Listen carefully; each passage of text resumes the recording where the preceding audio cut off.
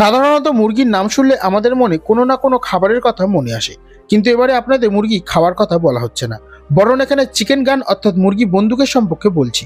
তবে পুলিশ বা গুন্ডা এই ধরনের বন্দুক ব্যবহার করে না। তাহলে এখন প্রশ্ন হলো মুরগি বন্দুক কি এবং কেন এই বন্দুক ব্যবহার করা হয়? আসলে চিকেন গান বা মুরগি বন্দুক বিমানের ইঞ্জিন পরীক্ষার জন্য ব্যবহার করা হয়।